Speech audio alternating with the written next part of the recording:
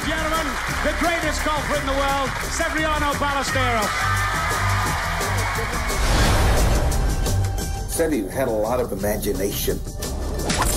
That's fantastic. He was more like an artist painting on a beautiful canvas. Touch of class, baby. Touch of class. Touch of class.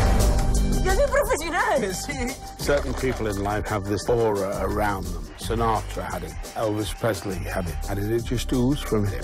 Stay still if you don't mind, please. I know you're nervous, but I ain't too. St. Andrews, 84. The best moment of my career. I thought it was a good idea to stamp that forever in my arm. Remember, Seve, you're the best.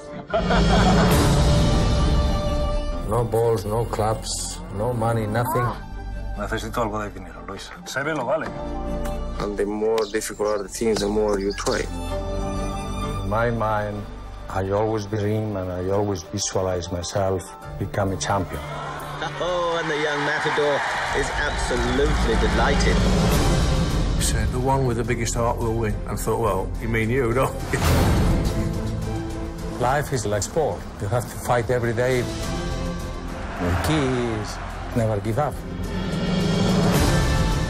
Coming into the Masters, my father was sick. I was on the 17th set, he hit it in the water. I have it in my heart because I didn't win for my father.